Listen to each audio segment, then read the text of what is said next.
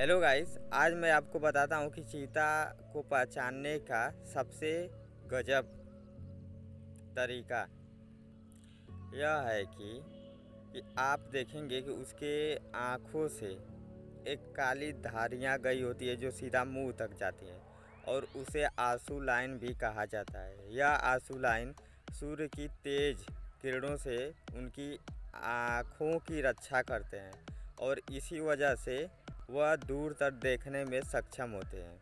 That's गजब। आप ऊपर इमेज में देख सकते हैं।